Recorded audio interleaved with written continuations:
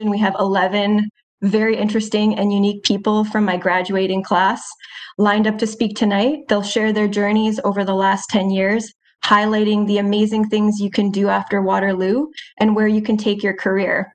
I hope everyone, um, I hope their, I hope their stories inspire you as much as they've inspired me.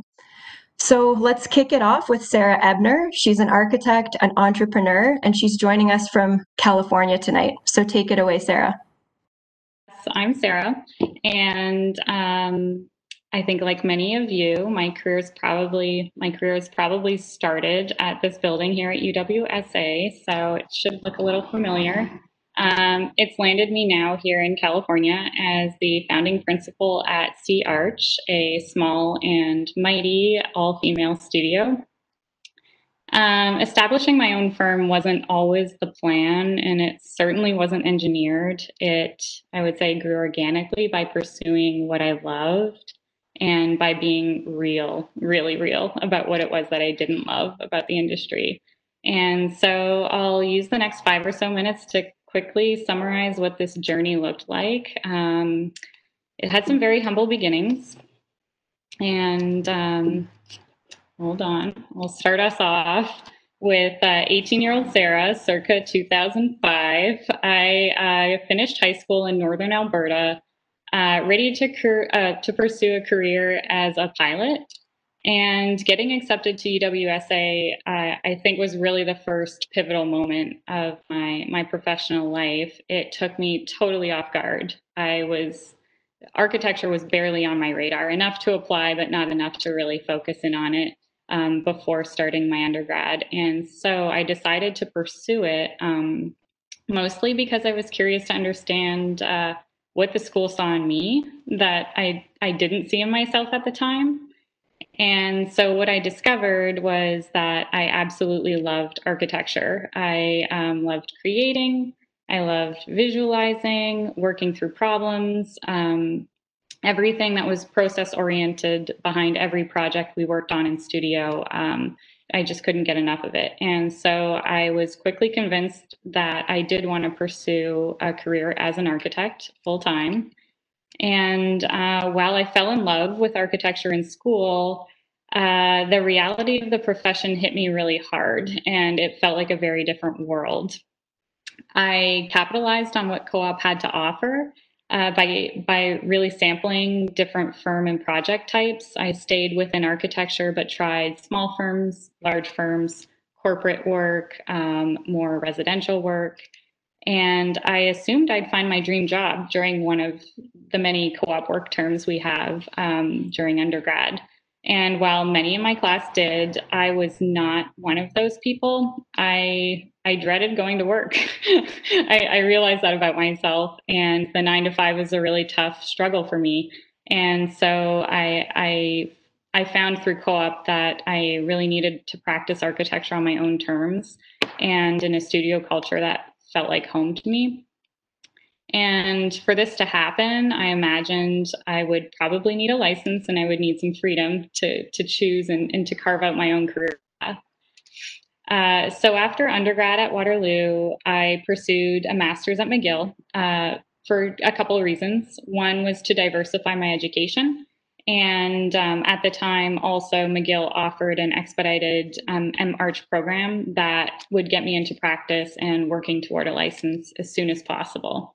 So, um, yeah, within 10 months, I had a master's degree behind me.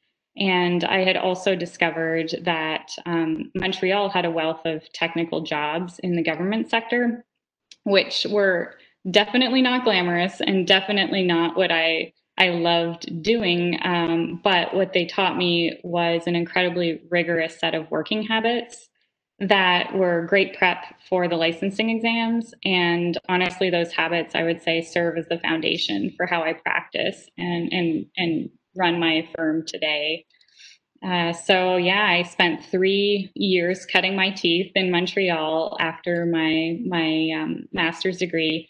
Over 5,600 hours working towards a license. And for those of you out there who are pursuing it or have pursued it, um, it's as good as it as you as you think it might be. Getting that stamp in the mail is just a fantastic feeling.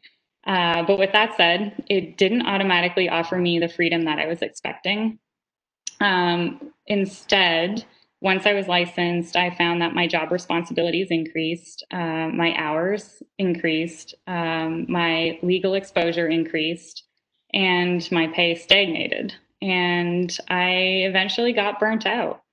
So I made a change. I um, bought a used car from a friend. I gave my two weeks notice and I packed that car with everything I owned, which wasn't much at the time, and I set out for California. Uh, why California? I I uh, mostly just wanted to visit San Francisco, and I love the idea of a soul searching kind of road trip across uh, the U.S. all by myself. So um, I was lucky enough to be offered a job en route out west. Uh, I was hired by a solo architect um, I helped him grow his firm from the two of us to five people. And I was able to translate all of the government experience I had had back in Montreal um, to high end boutique commercial and residential projects. And while the firm was a growing success, uh, I was still working long hours. Uh, the pay was still low. And I really didn't feel like, even though I was an associate and helped establish the firm, uh, that the studio it, it, didn't reflect my own values. So I made another change. I uh, quit my job. Uh, I I quit it with the intention of taking some time off to recalibrate. And after a couple months, I ran out of money, and so I ended up just hustling up some small projects, and a few bigger ones grew out of those small ones. And that's basically the unromantic story of how Sea Arch was established in 2016. And four years later, uh, the firm has taken on a life of its own. We've had the good luck of being recognized for a couple awards, um, some international, and then Dwell's Best Remodel of 2019. Uh, the team's an amazing collection of value driven women and our adopted dogs. And so I like to think we've created a bubble for ourselves to explore and expand on what design means to us all. And while having my own firm hasn't meant fewer working hours or necessarily better pay, uh, what ownership does offer is flexibility and agency over your own career. And um, as a new mom, balancing the best of both worlds at home and at work, uh, the benefits are just invaluable to me. And, and I'm I'm honestly I I had no idea that architecture could offer so much. So still feels like the beginning. Um, I'm super excited to see what's in store for for all of you and for myself and all of my colleagues here. So yeah, thanks all. Um, up next, it's Andrea Atkins, architect turned structural designer turn lecturer extraordinaire. So go for it, Andrea. All right. So um, I realize that in this meeting, I there are a number of students whom I have taught and there are students whom I'm teaching right now. So uh, shout out to those AEs who are out there. Thanks for joining us. So um, I took a slightly different approach to Sarah, um, and I guess we'll find out uh, as I go through this. But my current job is I'm a lecturer in architectural engineering. I work for the Civil and Environmental Engineering Department at the University of Waterloo. And my background is at the School of Architecture, also with Waterloo, where I did my undergrad and my Master's of Architecture. And then I moved to Toronto and ended up doing some stuff at U of T, but more on that. So a quick roadmap to try to keep things moving. Um, in the last 10 years, finished my undergrad in Waterloo architecture, rolled into the M-Arch program immediately because there was a, an opportunity to do the structures certificate program. So I was really interested in the structural courses that we had taken, which were like, there's like three, four maybe, um, in our undergrad, and uh, I, I, kind of was not satisfied with the answer of um, because I told you when I asked why. So I wanted to know more, and so I started. To, I was interested, so I was like, okay, I'll do my master's here because I have this opportunity to do um, some engineering courses. So in 2013, I finished my M-Arch uh, with the structural certificate in my pocket. Later that year, I started working at Blackwell Structural Engineers in downtown Toronto. More on that in a bit. Um, 2014, I started teaching the undergrad structures courses at UWSA. So it started off because um, a prof, Elizabeth English, went on sabbatical and they needed somebody to cover. And then the next year they said, Oh, the person who usually teaches timber isn't here. Andrea, would you teach timber? And I went, mm, Sure. And the next year they went, Oh, the person who usually teaches steel and concrete is not interested anymore. Andrea, would you cover? Mm, sure. And so I, I, quickly found myself regularly, uh, you know, once a week in Cambridge teaching undergrad students structures. Uh, 2016, I started the MEng program. I figured um, I had been working in engineering for three years and was doing engineering, but I didn't have any ENGs behind my name. I just had all these architecture degrees and I didn't have anything that legitimized like an engineering degree. So I started an MEng program part time, um, specializing in structural engineering at U of T. Um, I still reflect back on that and think like I don't know who that person was in that moment who decided that I don't have an undergrad in engineering, but I'm going to go ahead and in, and and apply to a graduate program in engineering. Like I I looked in the mirror and I don't know who that person is, but I just went for it. I applied. It was insane. Um, but they let me in probably because I had a few years of engineering work and they figured if somebody lets her engineer stuff at work, then probably she'll be okay in school. So they let me in. Uh, they passed me through. In 2018, I finished my MEng at U of T. And 2019, just last year, I ended up leaving Blackwell. So I was at Blackwell for over five years.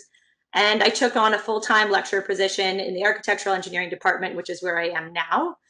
And in January of this year, I applied for a professional engineering license with the Professional Engineers of Ontario. So um, if they ever get around to stopping using COVID as an excuse for not reviewing my notes and my education, then maybe someday, hopefully, I will be um, a licensed engineer because I'm not stopping until I'm a licensed engineer. So I crammed all the good stuff onto this one page. What does it look like? What does 10 years of my life look like? Well, we've got um, some down here in this left corner, we've got some graphics from my M-Arch work. Uh, I ended up doing a bunch of stuff on recycling facilities and uh, digging up landfills. I was kind of the queen of garbage for like a year and a half. Um, and then we've got uh, some of the things that I love to do, like teach. This is one of my classes uh, in, in the e-classroom. I'm sure you guys are missing that space right now, but some of these will probably be your TAs because these students are now grad students. Um, so those are the, the two things on the side. I've also gotten really involved in an accessibility um, it's not for profit called Stopgap. So this is my buddy Luke at a really big fundraiser for a Stopgap in Toronto because I'm really keen on uh, making our cities more accessible. And all the other stuff is just great work that I have had the opportunity to do with some fabulous people because of Blackwell.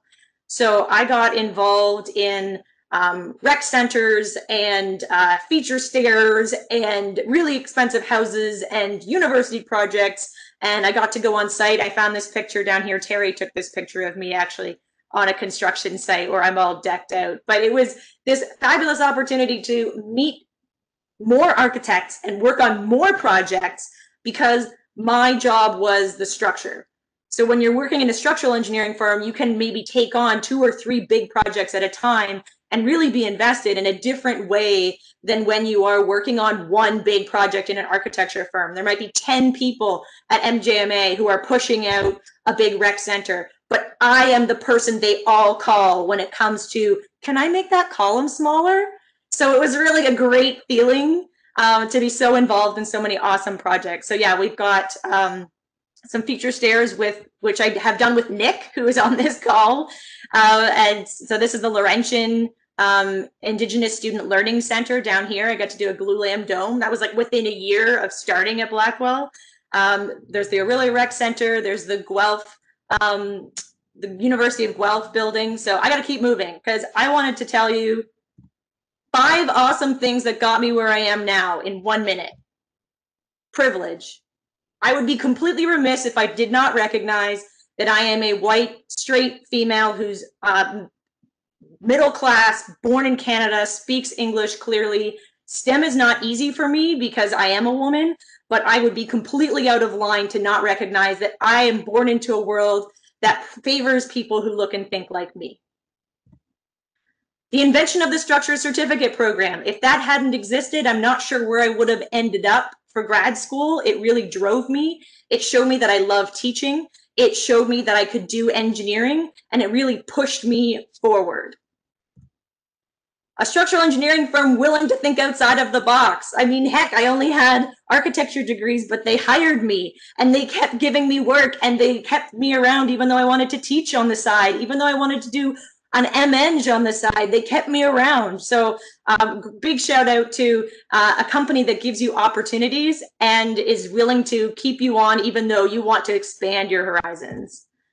Um, a supportive partner. I could not have done this all without my husband uh, because I was doing like I was a student and I was a teacher and I was a structural designer at the same time. So I could not do those things if I didn't have somebody who was also keeping me sane, um, you know, doing the grocery shopping, looking after the laundry, because I was functioning at an undergrad panic level of work all the time for like those 20 months the invention of the architectural engineering program. And this is really the thing that pulled me from working in the industry and threw me into academia because this is the program that I think I would have done had I been had it been available when I was 17. Uh, it was not, and I've kind of painfully made myself an architectural engineer over time uh, through three different degrees and a lot of work. But the fact that this existed, it draws me out so that I can say, you know what, I want to teach uh, I want to be part of this, the making of this program. I want to make people who also know about architecture and engineering. So my takeaways, recognize your privilege, be ready to listen when somebody else shares their story with you. Find the graduate program or no graduate program that gives you the, as many opportunities as possible. Find the company that values you and shares your values. Find your support network and never take them for granted. And that your ideal career might not exist yet, so don't be afraid to wait for it and keep doing what makes you unique. Up next, we have Jeff Christou. He's an architect, a permaculture enthusiast, a writer, and a very close personal friend of mine. So take it away, Jeff. Can't wait to see your presentation. So after undergrad, I had the plan to travel for a year, and I'd actually uh, saved up enough money to pay for this trip. But while hiking Hadrian's Wall near the northern edge of the Roman Empire in Britain, I kept thinking of something that my friend Matt had said to me that I should start a business with the money I'd saved as opposed to spending it on train tickets and hostels. I couldn't get this out of my head while I was hiking, and I decided to return home. After returning, I started a business providing cardboard furniture for university students, and this presentation is too short to get into why I chose cardboard, but we'll just leave it at that. As I gained experience and in, insight into the potential target markets for cardboard, I evolved the business to focus on using cardboard for trade shows and experiential marketing installations. This is one of the most recent projects I completed last year for the Bentway in Toronto with the artist Sean Martindale. We printed high resolution concrete textures onto giant cardboard letters so that they would look super heavy. And then we had a troupe of actors move them around like construction workers spelling out different words. Now, with the cardboard business, I've worked with a range of clients across North America, including Elections Canada, Statistics Canada, the Pan Am Games, the Luminato Art Festival, Humber College, Weston Foods, and many more. This video shows a prototype uh, kids playhouse that I made for an undisclosed, undisclosed client, but you can probably guess who it was. Now, during a trip a few years ago in central Iceland with my friend Nick, who's, who's getting a lot of shout outs today, I guess, I had a very important epiphany. And this is a photo uh, near the location, but we'd stumbled across a garden that was truly magical. And I felt in this garden for the first time the sensation that humans and nature were in harmony. After that, I began to follow this train of thought until I discovered permaculture. Now, permaculture is a design system, no different than Bauhaus, Art Nouveau, or modernism, except that it is based on ecology, complex systems, and earth care ethics. The goal of permaculture is to cr create regenerative and self-sustaining human settlements. One beautiful aspect of permaculture is that it's focused on proactive, pragmatic, direct, direct action so it's very empowering and positive. Another beautiful aspect is that the outcomes of permaculture are healthy ecosystems, delicious food, and strong communities. I decided to advance my studies in permaculture by taking a permaculture designers course from the University of Oregon. I also started an experimental garden at my family farm to explore these ideas in practice. Now, the, the picture is uh, from my garden that I took this spring, and even though it looks like a jumble of plants and it, it looks very chaotic, you can see on the slide that it's actually everything there is edible, medicinal, or useful for people. There's a method to permaculture's madness. Now, I was able to take my interest in permaculture and integrate it into my professional work, where I work part-time at Cool Earth Architecture as an architect. I've worked part-time here since master's, since after graduating from master's, and also during two co-op terms. The firm's principal, Sheena Sharp, has supported me and encouraged me in my interest to the point that we've now been awarded a handful of paying permaculture design jobs at the firm. And I just want to echo something that Sarah said because I, the, the, the, nine to five grind just did not work for me. And, and I really worked hard to make a situation that wouldn't require me to do that. And anyways, this, this slide shows an image of a passive house project we're working on where we created a design not only for the house, but also an integrated landscape to grow food, um, harvest rainwater and create be beneficial microclimates for outdoor recreation and, and relaxing. Now, recently I wrote and published a book called Utopia, a permaculture vision. The story conveys the sights, smells, textures, sounds, and logic of a civilization built using earth care ethics. I've been working on this story for the last three years, but last January, uh, uh, two Januaries ago, I guess, I decided to get serious and put my cardboard business on hold to focus on writing. The main character of the story, who is named Hope, unexpectedly returns to Earth and discovers a civilization that works with nature rather than against it, cooperates rather than competes, integrates rather than segregates, creates rather than consumes, values diversity as opposed to uniformity, and looks at Earth as the source of life rather than a resource. Now, the picture in the background is from a 400 year old chestnut orchard that we visited in Corsica a few years ago, and it's a perfect example of a real life permaculture. And you can see the cows munching the grass beneath the, the trees there.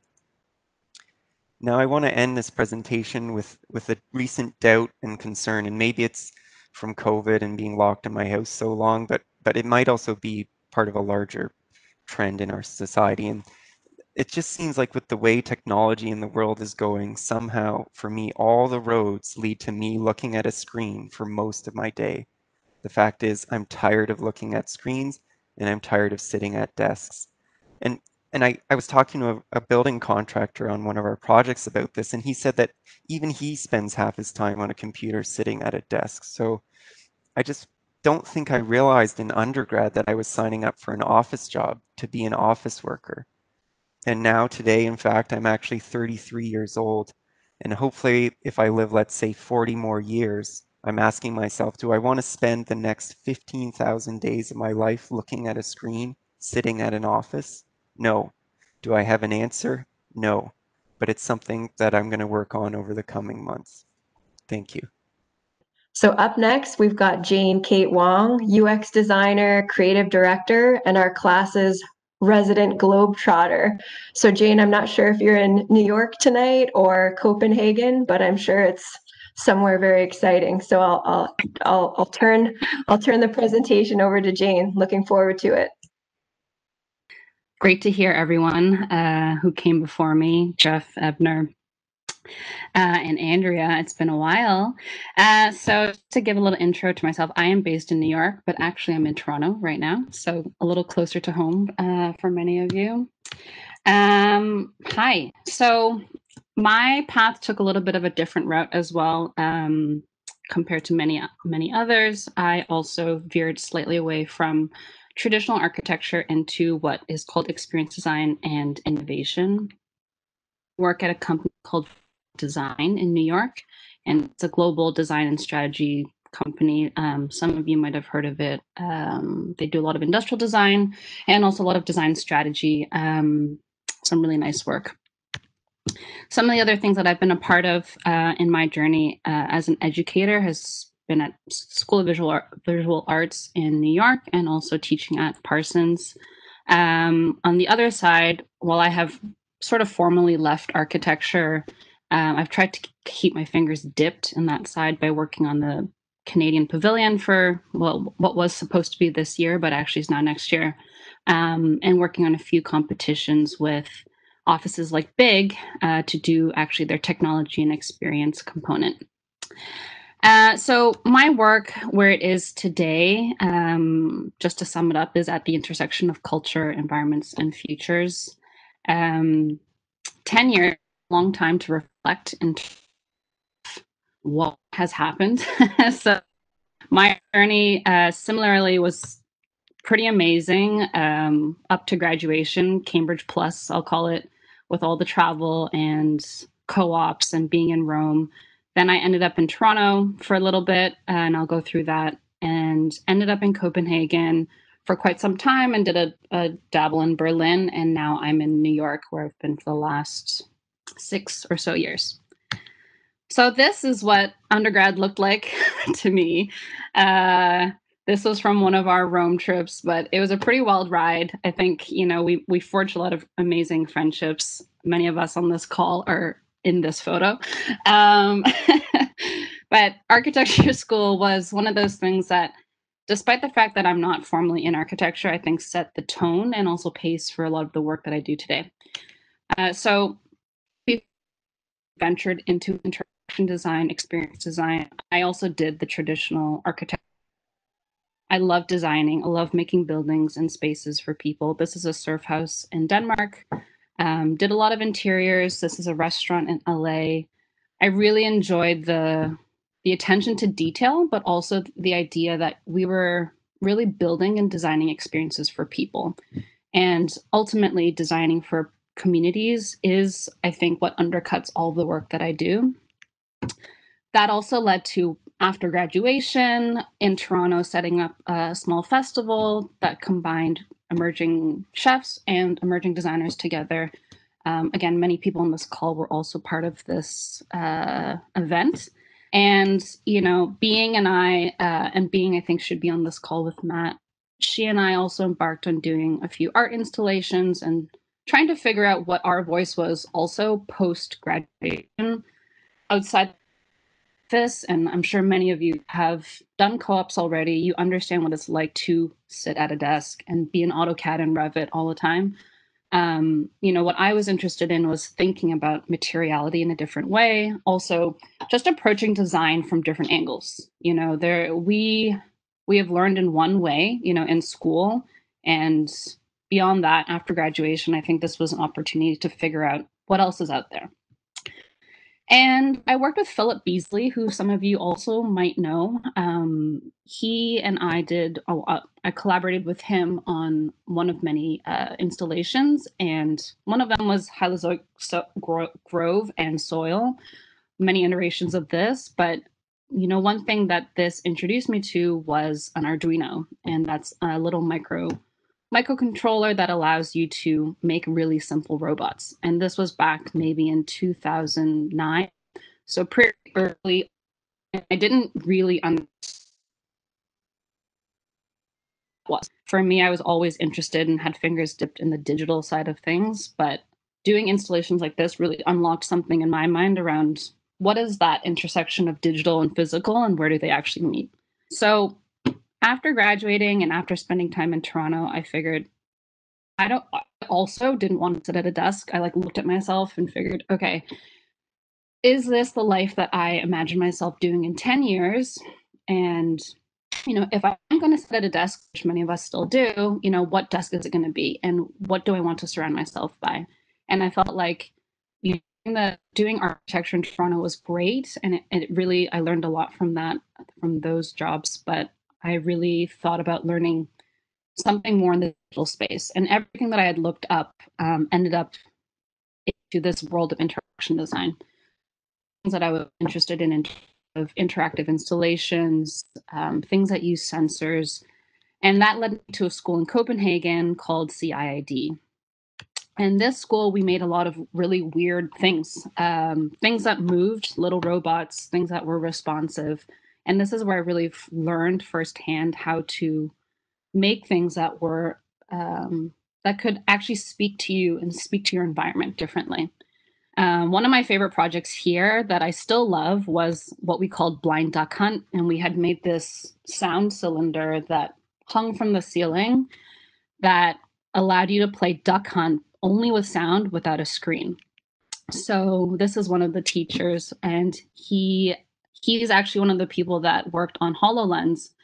Um, so thinking about space virtually and digitally in like non-traditional formats was actually something that I was so attracted to. So we had a game where roller that you saw, you could actually shoot and you know create this screenless video game and things like this actually made me really excited to be an interaction designer. But of course, you know, with the spatial component and the things tied to space, I think we, we all know that we live in physical space. So this is something that I really wanted to continue to pursue. That led me into experience design, which is kind of a lot of different things. Um, it's product design, it's service design, it's experiential, uh, and it's also looking into the future. And I've had the great opportunity and privilege to work on a lot of really nice projects while being in New York, uh, including a few things like a connected um, air quality monitoring device where we made an app um, Future of Retail for Nike, uh, which has been really great, thinking about space again, but more from a digital perspective. And thinking through collaboration with different teams, working with technologists, working with strategists, working with art directors, um, not just architects to actually bring these spaces to life and services. So that's just another sneak peek. But at the end of the day, you know, when I think about what architecture has given me, it's also given me the ability to adapt and pivot. And right now, I'm focused mostly in this space of augmentation, which is around defining new language and interaction paradigms. I feel like some of the lessons here is about how do you understand the physical, but also push that into the future. And that's something that's a little bit less, um, less, less intuitive, but also uses data that we live in to actually make experiences a little bit different. Um, so as we think about machine learning and future of technology, this is where I'm mostly focused in now and how to translate relationships that we understand as designers, um, but in more formats. So as we sensors and computers and what did they see, computer vision, these are all things that I'm working in now. And also just thinking about cross-cultural relationships between architecture, design, um, consumption, how do these worlds all gel together with technology to make something into the future? And of course, you know, I haven't fully departed from architecture. I'm still building installations, and this is like a preview of some something we're doing for the Biennale with a webcam and and a green wall. But um, some lessons that I wanted to share. I feel like architecture is a very broad profession and also broad learning uh, space. I think having obsessions and curiosities has pushed me into different spaces and allowed me to take risks um, and embrace change in a very different way. I think traveling has also opened my eyes to all the different, you know, perspectives around the world, which we don't often find in North America or even Europe. Um, and then just reading a lot, watching a lot, learning from other people, and then trusting, you know, my gut. And architecture like i know with what what is happening with covid and also future jobs it's not limited and i think it's been amazing to to understand how the systematic thinking that we learn in school actually applies to so many different industries um, and the process of research and also designing for people. So that's all my takeaways thanks so up next, we have Lauren. She is coming to us from the Yukon tonight. So hopefully it's not snowing up there, but who knows? Lauren's an architect, a nature lover, and uh, a Canadian Arctic expert. She's been working up there for a really long time. So it'll be great to see uh, a perspective from the Canadian North. Take it away, Lauren. My name is Lauren Holmes. I am an architect, an outdoor enthusiast, and kind of a nerd. I grew up in, in a, a little town of Cambridge, and I always kind of thought that I would be a farmer because I was surrounded by cornfields. And I, I thought that was hot off the knife Northwest Territories in 2007 for my first co-op and it was minus 40 and there were northern lights over top of my head. I was just shocked and excited about this part of Canada that I knew nothing about and I quickly fell in love with it. So I did a few co-ops in Yellowknife Northwest Territories and it was just such a different world for me. It has this beautiful kind of otherworldly landscape just below the tree line. There's lots of hunting and fishing and camping, an incredible First Nation culture, and such an extreme climate minus 40 winters with no sunlight, and then a sun in the summertime that just never sets. It was just so excited became obsessed with it, as many on this call can attest to. And so I took some more co-ops in Yellowknife, and I also went to Iqaluit Nunavut and and uh, again, just loving about it, the culture, how there's this sort of merger of traditional and very modern and art still sort of a budding uh, opportunity to do that through architecture. And that was something that I really wanted to further explore. So after I went right into master's at Waterloo, and it is a very self-directed type uh, program. And so you can kind of pick and choose what you want to do your research on. And so using my co-op experiences, found my niche of what I wanted to further explore, which was this sort of proposed uh, architecture at the intersection of a traditional and modern Arctic. I had Lola Sheppard, a thesis advisor, and at the time she was also um, teaching a class in undergrad of along the same theme. So she asked me to be her TA, which I gladly accepted. And so we got to work together a lot during those years, and it was really great. And then after university, I moved to Whitehorse, Yukon, where I worked at Kobayashi and Zedda Architects. It's a small firm, well, big for the Yukon, but small in comparison to the rest of Canada. Um, and my first job there was to office lead for submission into Venice Biennale in conjunction with Lateral Office with Lola Sheppard. And that year, the Canadian Pavilion uh, was this exhibit called Arctic Adaptations, Nunavut at 15.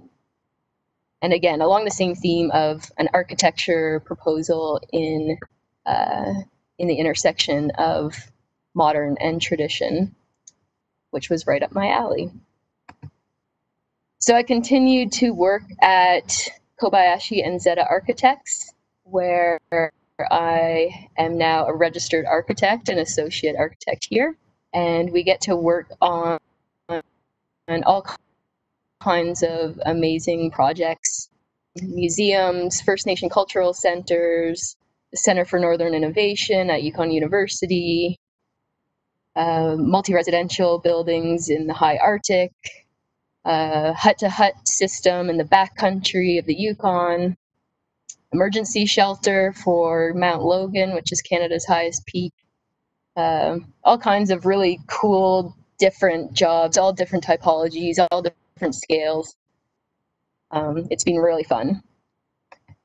And in the end, I am still the farmer that I always dreamed of being. This is a picture out of my front window in the Ibex Valley.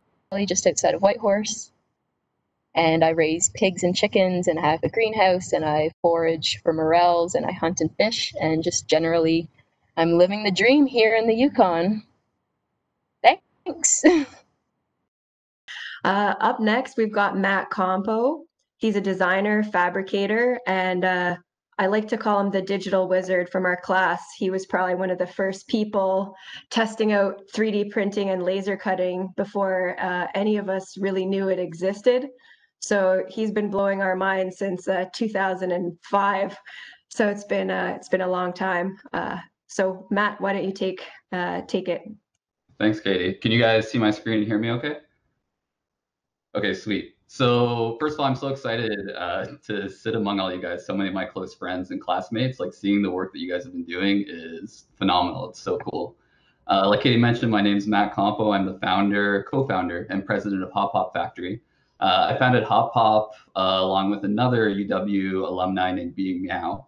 And so we're a digital fabrication firm in downtown Toronto. And so we specialize in helping young designers uh, and Fortune 500 brands even build really cool, amazing stuff that couldn't be built in any other way. And I'm also the CTO of a tech not-for-profit called Ample Labs. Um, and so Ample, uh, they build uh, digital applications that essentially focus on preventing homelessness. And so right now we have 20,000 users across the GTA and the rest of Ontario. And so I got my start, like all of you guys, uh, at UWSA. And so, like Katie mentioned, uh, I was fascinated by what was emerging at the time, uh, the technologies around generative design. I was a pretty mediocre student, admittedly, but this stuff was really up my alley. And I thought there was a really cool opportunity to explore some of these technologies as sort of a new frontier of design, similar to how you know a designer might explore a new material and kind of see what was possible. And so, thanks to the amazing co-op program at Waterloo, I was able to get a job right out of school at a firm called Cannon Design, and one of the very first projects there uh, was a stadium, uh, a brand new CFL stadium in Ottawa, right along the Rideau Canal. And so we developed parametric systems to control this enormous 10-story facade that meant that was meant to sort of emulate the kind of laminar flow of the river nearby and be sort of a shroud or behind the bleachers of the stadium. And so we developed generative tools to help kind of control and wrangle this thing. And so this is the end product, which you can see here. And so there's thousands and thousands of unique elements, all of them custom milled, all of them with custom connection details.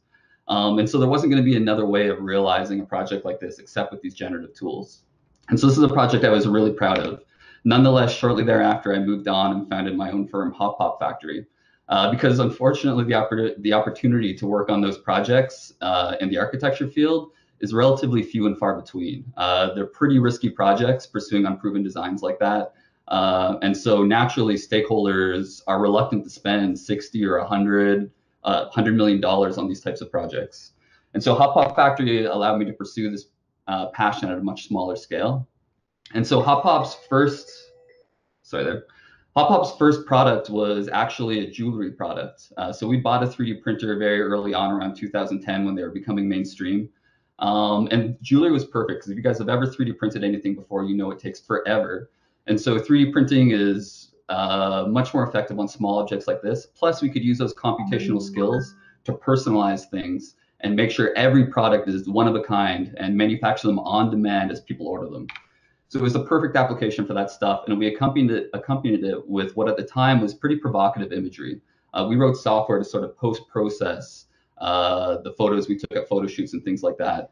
And people in the public love this stuff. Um, our story combined with the new technology and the provocative imagery got us a huge amount of media coverage for our young company. And so we had full page two color spreads, sorry, full page color spreads in national newspapers. Uh, we were featured on national morning shows, things like that. It was all really crazy. Um, and what that led to for us uh, was an opportunity to take our work to a larger scale. And so we got to take our firm's work to the Royal Ontario Museum and the Art Gallery of Ontario. And ultimately, this led us to much larger clients. Uh, and so today, our firm, in addition to serving young designers like yourselves, we also serve Fortune 500 brands like Coca Cola and HSBC and Twitter. And so this is a project we did for Coca Cola. And this was such a cool project for us because we got to bring our full tool set to bear on this. And we got to take Coca-Cola's iconic contour bottle. So the contour bottle is, is what they call the iconic glass Coca-Cola bottle that you guys are all familiar with.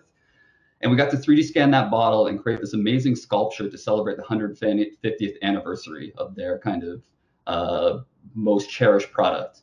And so what we did is we 3D scanned it and then we wrote software to digitally shatter this into a whole bunch of pieces. And then each of those pieces was precision carved thanks to the help of a firm named M- uh, MCM. Uh, Nick, who's on this call, works there. And so we were able to create this amazing aperture to suspend all these pieces in space at a huge scale, eight feet tall, and create this optical illusion where if you look in just the right spot, these glass shards come together and kind of recreate that iconic contour bottle form as you're about to see at the end of the video here.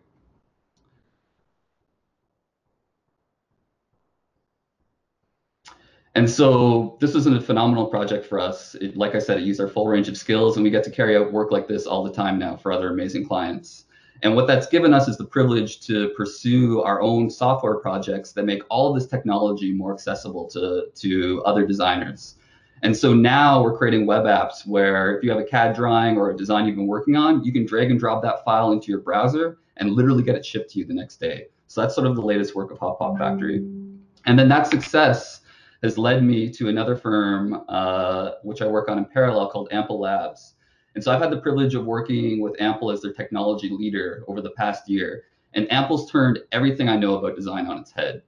So Ample Labs builds a chatbot uh, for homeless people that's focused on rapidly connecting them with critical services like food banks and shelters, things like that. And what's unique about Ample is they use a co-design approach. And so instead of the designer being a visionary uh, who kind of sees the whole product through to the end, instead what we do is we employ people with lived experience with homelessness, and we work with them every single day uh, in a collaborative environment to basically elicit the, the most important features and needs of those users and make sure that the people who are most served by this product are also the ones who are driving its development. And so at Ample, instead of visionaries, instead of designers being visionaries, instead of having this master partie that we're all working towards, designers are facilitators and collaborators uh, that work with the people, the end users of the app every single day, who are there to serve particular communities and to measure and incrementally develop features day by day. There's no master plan with the ultimate goal of measuring and improving uh, the kind of outcomes and impact for these individuals uh, and communities. Uh, and so that's been my journey. Uh, it's still a work in progress, and that's where I'm at right now. Uh, and so thank you guys so much for for listening and having me here to speak. So up next, uh, we've got Mark Zupan. He's a designer, a performer, and an artist. Mark is also joining us from Victoria, BC. So we have uh, we've gone north, we've gone west, we've gone to California. Uh, so now we're on the west coast. Mark, take it away. Thank you so much, Katie. Um, so wonderful to be joining everybody here today. Uh, as Katie mentioned, I'm streaming to you from the west coast of Canada. Um, I live and work and play on the traditional territories of Lekwungen speaking people, now known as the Esquimalt and Songhees First Nation, and it is a great honor and privilege to live on these unceded territories. Um, I've been coming and doing co-op terms in Victoria with a firm called D'Ambrosio Architecture and Urbanism since I was a co-op student in 2007. I did two of my co-op terms there, and I returned after my undergraduate degree in order to uh, pursue a year off of architecture because I didn't know what I wanted to study for my master's thesis. And the architectural industry was a little bit slow at that time. And so I went down to a 30 hour work week and I was able to start a little puppetry venture with a friend of mine, Tangle Karan. Um, and we didn't have enough time to build all of the sets and the puppets ourselves. So we invited our community to come and help us. And I was really amazed after a degree in how to design something and consider every little aspect of it, how a community of people could inform a process and infuse a product with all of their creativity it really got my gears thinking about um, ways that we could design uh, that weren't so overthought and overwrought. Um, and at the end of that year, I happened to, go to the Burning Man Festival with a group of my friends. Um, and as it turns out, the Burning Man Festival is a temporary city of 70,000 people in the desert for one week each year. And it is probably the most creative, collaborative environment that I could have ever imagined. Um, and so it became the topic of my research for my master's thesis. Um, I decided to go back and volunteer on a large project in order to get onto the desert a little bit earlier. I volunteered on the temple, which uh, starts production about four months before the festival begins, but uh, I arrived two and a half weeks before the festival began on a relatively empty desert. Uh, we worked long days in the heat, in the dust, in order to build something that I was really surprised was coming out of seemingly thin air because there was no drawings on site. And this really spoke to the part of me that was about ways that we could design and build with a lot more collaboration and creativity that just unfolds from the people who are on the job sites and on the work sites. So you're seeing images here of the Temple of Juno that we built um, and there was also no rule book for how to use the temple. But when we opened the doors, people showed up and they started praying and sharing stories and leaving behind pictures of lost loved ones. And you realize that people were wired for this stuff. They knew how to participate in this space, they knew how to create their own rituals. And when the temple burned at the end of the week, um, everybody knew how to stay silent and just respect what was going on. And it really blew my mind. Um, so I went back and worked on some of my own projects as well and tried to put these lessons into practice. Um, our camp at the Burning Man Festival is the Mollusk Nation, and I decided to build a shade tent inspired by an oyster. And I hand dyed fabric and designed a very complex tensegrity structure that was a pain in the ass to build and it looked like shit pardon my language but it uh, really didn't turn out the way that i wanted it to um, but luckily we were all really happy because we were at the burning man festival. Uh, but when we came back we took all of those materials out to jeff's farm and we had a really fun time just working with the materials at hand no drawings and we designed something that ended up looking a lot more like an oyster and we still had fun hanging out in it and playing. Uh, this is an image from my thesis defense on Elizabeth English's lawn, uh, where I had the honor of sharing some of my stories uh, from, from that research. Then I moved to Toronto and I worked with Cool Earth Architecture. Uh, I, am going to share one image from a built project, my only built project in the course of the two years that I was there. Uh, it's a little cocktail bar called Famous Last Words. Um, and at the end of two years, this is where I was at. Uh, I was done with zoning bylaws and building code, and I needed a break. So I escaped to the West Coast with my partner. Um, and when I landed on the Pacific Ocean, I knew that I was back home and that I was in the right place for the next phase of my career. Um, I took the opportunity to start a yoga business and a uh, Thai massage practice and I worked part time in a grocery store in order to make ends meet. And I spent time uh, devoted to my other hobbies. I play in an orchestra, I do burlesque, and I love to dance and create with all of my community here. And it brings me a lot of joy. And at the end of that time, I went to a, about this was in 2016 now 2017 i went to a, a reflective practice retreat put on by the community knowledge exchange out of toronto. And they invited us to reflect on the parts of ourselves that we might not normally bring to the table. Um, i usually wear my architect's hat when i'm in the architecture office and i do all of these other things outside of that. And i realized that there was a real strength in inviting all of the parts of myself to the table. So I went back to D'Ambrosio architecture with a lot more vulnerability around who I was and everything that I do. Um, I continue to make art projects and dance pieces. Uh, this was a dance piece that I made that really explored the tension between being this controlled person in the office and the more wild and reckless part of myself. Uh, not necessarily reckless, just joyful, purely joyful. Uh, and I created this piece with Emily Nimitz, pictured here, a local artist. Um, the last bit that I'll share here is one of the most playful projects I've gotten to work on in the office. Um, pardon me for not showing buildings today, but at the the start of the, the pandemic, uh, my boss asked me to draft up a floating island with a tree. and I made a little watercolor sketch. And lo and behold, over the course of about four or five months, uh, and a couple of design and fabrication drawings to get it into the works, we ended up a beautiful little swimming platform that the community now gets to enjoy uh, on the gorge waterways of Victoria. Um, hundreds of people swim out to this little island, myself included, sometimes on my lunch breaks. Um, the words of Dr. Bonnie Henry here in British Columbia be kind, be calm, and be safe. Uh, this is a really interesting time to be navigating all together, but I think there's a great potential for us all to bring all of ourselves to the table uh, that make us feel whole. Because for me, I was not always resonant with the idea of becoming an architect. And I realized that as long as I fueled all of the other parts of myself uh, that I might not otherwise bring to the table, that I could really enjoy where I had landed at the end of the day. And I'll leave you with the words that popped up on my partner's phone this morning from Sadhguru. Uh, to be a human being means to know how to be. Something or someone should not determine your way of being. Thanks so much, everybody.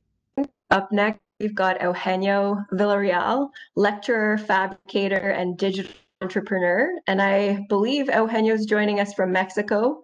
Um, hopefully, it's uh, you're not experiencing the same cold weather that we are um, up here in Canada. So, Eugenio, take it away. So, just so we can uh, position ourselves, well, right now I'm in Monterrey, Mexico. I don't know how many of you know where that is, but that's the northern part of Mexico. So that makes us really we're um, really close to the United States. And um, I'd like to share a bit more about my my city. So this is Monterrey. So uh, Monterrey is basically within this plain surrounded by mountains all around. So very different from Cambridge. Uh, anywhere you look, you look at uh, mountains, and you have a, a river, a dry river through the center that um, divides the whole city. And well, trying to share a bit about my my journey. Uh, when I was when I had just graduated from, uh, let me see, ah, there we go. When I had just um, graduated, the big question was, um, was I going to stay in Canada, basically, or was I going to go back? Uh, back then, Monterrey was going through a huge crisis uh, regarding violence and, and crime uh, uh, because of uh, different cartels trying to fight Monterrey. Before, Monterrey was really peaceful because the head of the cartels uh, all lived there and they decided that would be kind of like the, the peace city. city. Uh, but suddenly all of that broke up. And so a year after, it had been a year after, no, a year before I graduated, that uh, Monterrey had gone through its like peak uh, levels of violence. So it was then when I was looking at, I was actually um, doing some interviews to stay probably in Toronto, uh, uh, or deciding if I was gonna come back, and that's when I just decided to go back to Monterrey, uh, hoping that I could, I don't add uh, something different to the city uh, from what I had learned. You know. And the first thing I got from from everybody when I got back was, "Why did you come back?" You know, so it was really interesting how, well, obviously I had the only way I had experienced that uh, violence and crime was as an as an external person. You know, so being able coming back to Monterrey, I was more or less of an outsider, and I could see how everything was kind of shut shut in inwards. People didn't want to go out. Uh, everything was kind of like stalling.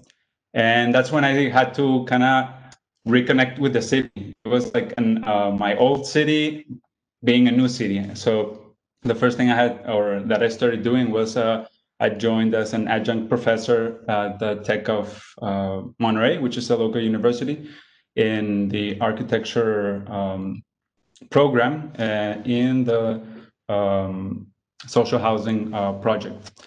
And that allowed me to reconnect with some of the people understand more what was going on what had happened.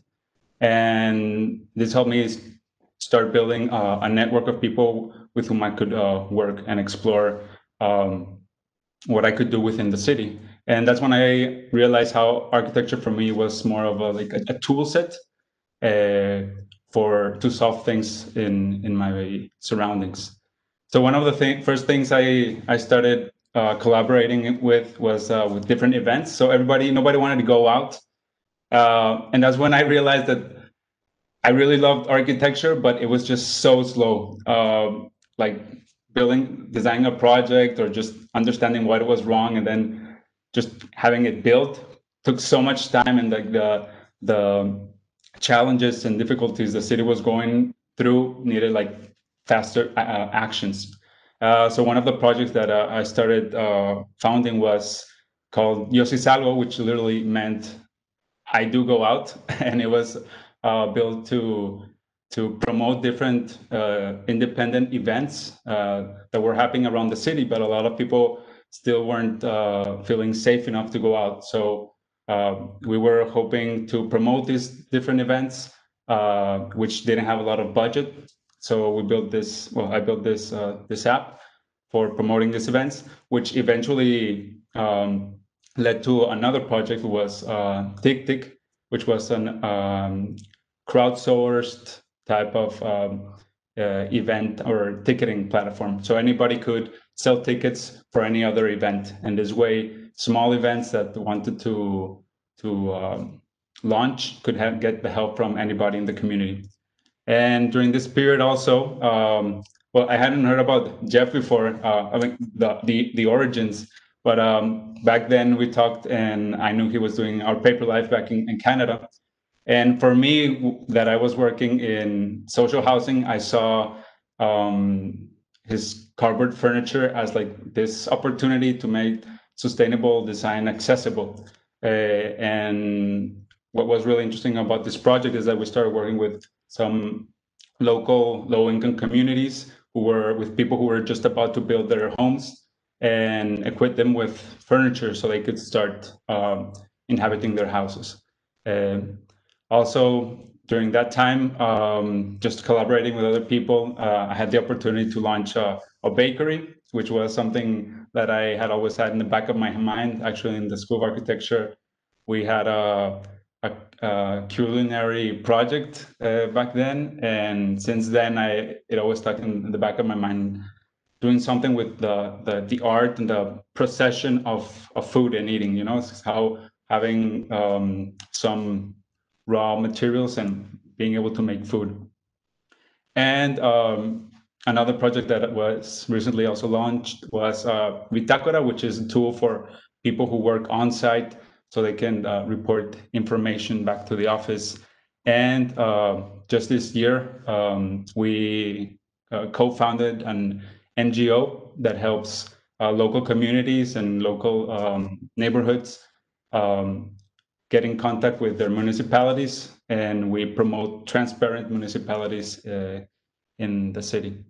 And well, uh, I think for me, looking back, uh, it's been a lot about uh, the challenges and how those challenges uh, show or reveal uh, opportunities within the community and how architecture, at least for me, has been a tool set to engage with those challenges and create these opportunities.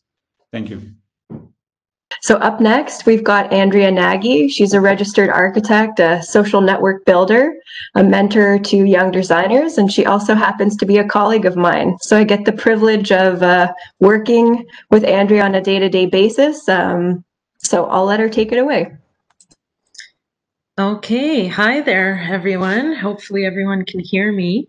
Um, thank you so much, Katie. Thank you so much, Donna and Rick, for inviting me tonight. It's uh, such a pleasure to hear everyone speak. Uh, everyone's done such amazing things, and I just can't believe I'm reconnecting with you after 10 years, literally. So I'll get right to my beginning. I knew from a very early age that I wanted to be an architect, and I had a certain vision of what that entailed. That vision contributed to developing me to developing a super rigorous work ethic and determination over time. And it's something that I still rely on a lot to this day. So I knew that if I wanted to become a licensed practitioner, I'd have to get my master's degree. And that's exactly what I did after undergrad. Airports, transit, and travel, these were topics that always interested me, so I decided to combine the three into a thesis and adventure around the world. So, in addition to studying the history and evolution of air travel and actually designing an airport, a part of my thesis involved traveling to 11 countries and 19 airports in 24 days. I went to other parts of Canada, the States, Europe, uh, Middle East, and Asia, and I got a chance to really study the anatomy of various airports, their sense of place, and how individuals transit through them. It wasn't just about airports and travel, it was about streamlining the logistics of human circulation and intervening in ways that I thought were culturally sensitive and honest. This work led me to my first job post graduation at a company that had done work at Pearson and various other airports. There, I had the opportunity to work on retrofits and additions to existing terminals, uh, signage projects, wayfinding projects, and more. It was right up my alley in some ways, uh, but I was really starting to miss working on urban and mixed use projects. I had done a lot of that on co op. So I ended up at somewhat of a crossroads, and I had to decide if I was okay with typecasting myself to this particular project type or if I wanted something more. So, in order to try and deal with this sudden uh, existential crisis of mine, I naturally and symbolically decided to jump out of an airplane this, along with some other eye opening trips to places like Guyana, Suriname, and Trinidad, made me realize that I was most interested in densifying communities sensitively and by way of expanding and revitalizing existing infrastructure. Access to a whole range of mixed uses, I thought would benefit communities. So this re- realization led to another, which was that if I wanted to put my best foot forward in looking for a new job, I could probably uh, really use that architecture license. So, lo and behold, the wish came true in 2015. You may recognize these two people, and I could now call myself a licensed architect. Shortly after this photo was taken, I started working at Kohn Partnership Architects, uh, where I'm now a senior associate along with Katie. At that time, I had a good feeling about the move, but I still wasn't quite sure what the future had in store. So I decided to just put my head down, work hard, and make my mark in meaningful ways. At the same time, I also started to get more directly involved with my city and community, uh, joining various collectives like the Camden Collective and participating in events like 101 Day, which aim to create urban interventions for the purpose of civic engagement. Through my work uh, with these and other initiatives, my personal and professional networks started expanding. Along with three other friends and colleagues, I joined the Concrete Mixer Networking Group with the goal of bringing together like-minded professionals in design in the design industry for nights of drinks and discussion all the while this was happening, the traveling didn't stop. And I felt like every new experience of nature and urbanism helped to sharpen my worldview. There were deserts and caves in Arizona, mountain villages in Korea, powerful urban architectural landmarks, and coastal ports and fishing villages in places like Panama and Mexico. It was 10 years of travel and exploration, home and abroad. These days, I work on a variety of mixed use projects in and around the GTA and Ottawa areas. We collaborate with like minded developers and city officials to create projects that densify neighborhoods in ways that can benefit residents and hopefully enhance their quality of life. One of these projects, uh, Bayview and Hillsdale, was runner up at the BILD Awards last year, which gave me the opportunity to expand my network uh, to non human companions as well. Another project uh, that I'm currently working on happens to reflect a lot of what I've just spoken about. The Zibi development is a master plan community that's being designed and built on Chaudière Island in Ottawa. In collaboration with other architects, we are designing a sustainable, transit oriented, mixed use community that builds upon the industrial heritage of this area and aims to provide affordable housing opportunities to both current and future generations. To end it off, I know that this slideshow of me doing all this traveling is probably a little bit hard to relate to given our current circumstances. But I honestly believe that the opportunities I've had to visit these places have shaped who I am and how I see the world. There will be an end, I'm sure of it, to this pandemic. And while you can't guess necessarily get on an airplane tomorrow, you can start planning for something like that today. And, you know, the path I took, it may seem more traditional in a lot of ways, and it was, but the opportunities and successes uh, and rewards that I've encountered along the way have definitely made it wor- worthwhile for me. So, with that, thank you. And back to you, Katie. So up next is Hudson Pridham. Hudson was actually, uh, we sat right next to each other in studio. Um, so Hudson is a UX designer, he's a researcher and a lecturer, and also a dad of three. So he's doing it all um, with three kids. So Hudson, why don't you take it away? Thanks, Katie. All right, so as Katie said, I'm a, uh, a, user experience designer. So a bit of what I say will probably be similar to Jane's experience. In fact, I remember uh, Jane and I kind of starting down this path together. Uh, but just to reiterate, um, you know, I think uh, the transition from architecture to user experience designer isn't as um, clean of a break as at least my parents think it is. Uh, being an architect, I always describe it as we're architects of the built environment, whereas a, a user experience designer is a architect of you know, services and digital environments. Um, so I grabbed this off the internet because I think it nicely encapsulates what my my day to day looks like in this role. Uh, so uh, I'm squarely in this this little light blue world here. So I sit between user research and um, interaction and visual design.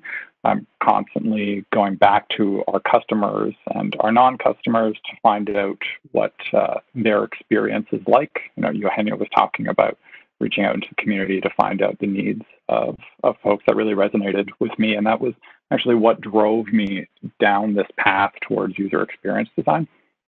But uh, like any architect, I'm constantly working with the, the engineers, but this in this case, the software engineers to bring my vision to life, and also working with uh, the product owner, the product managers, to ensure that uh, what I'm designing is is both feasible and um, viable from a business standpoint.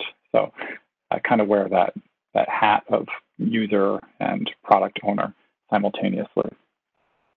Day to day, that could look like anything from uh, conducting customer research, uh, mapping out the customer journey, finding out these key pain points, which are opportunity areas for improving the customer experience. So this isn't a project I worked on, but uh, something a colleague of mine did for FoodShare. Uh, and this was mapping out the experience of folks who are ordering food from FoodShare.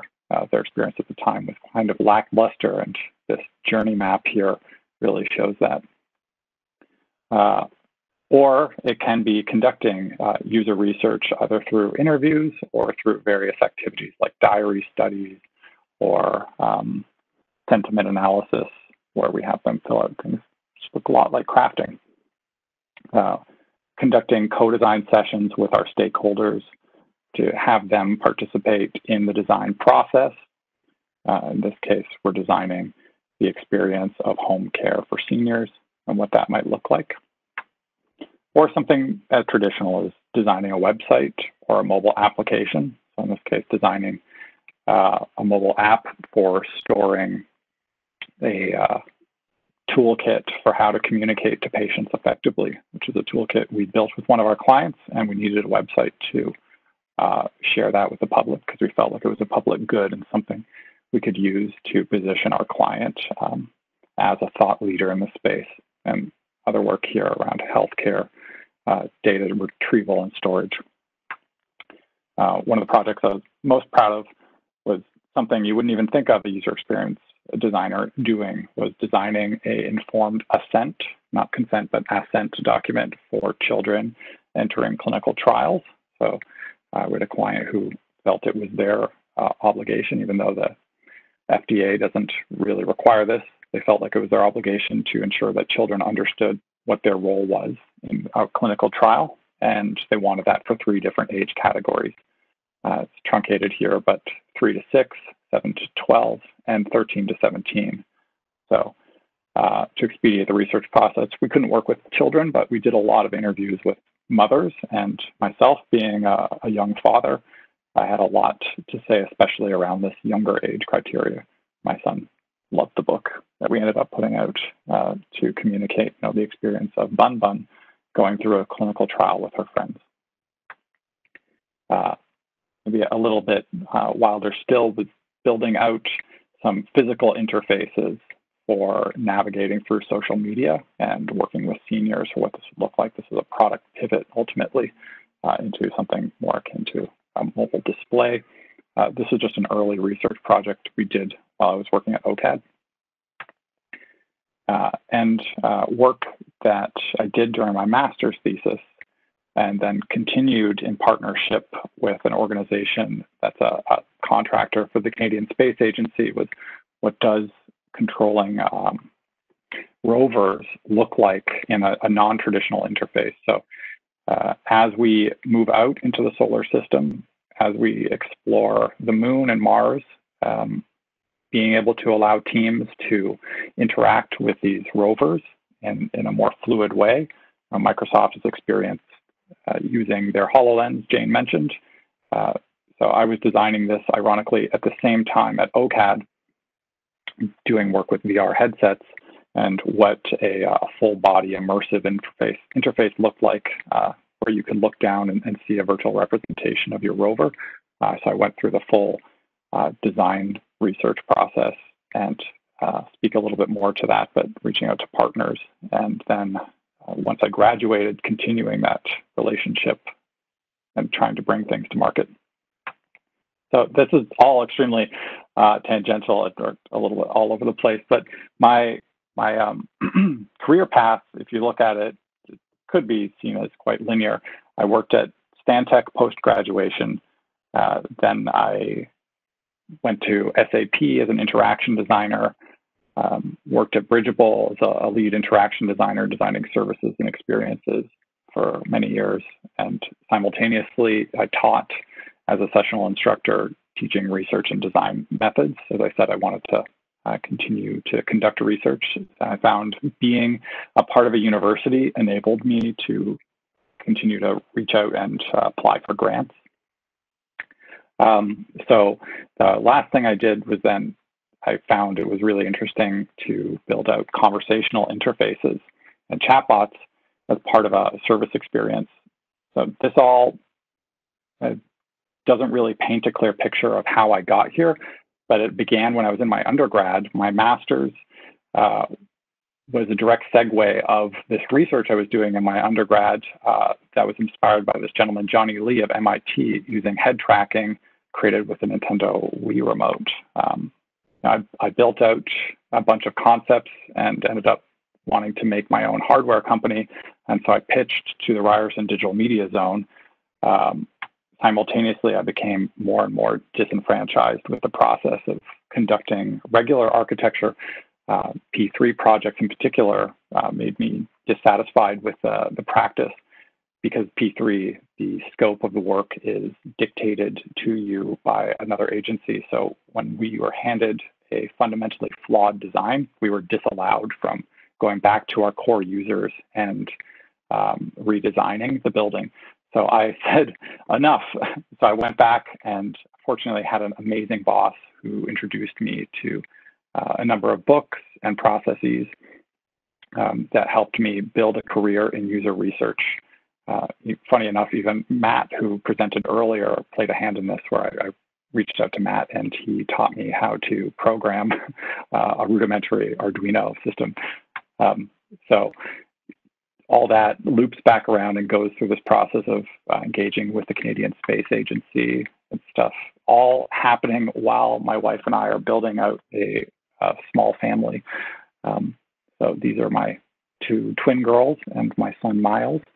Um, it was always in the books that we were going to have kids, never this many so quickly, but uh, it hasn't really stopped me and her from pursuing our career. In fact, uh, I think our careers have been burgeoning quite quickly.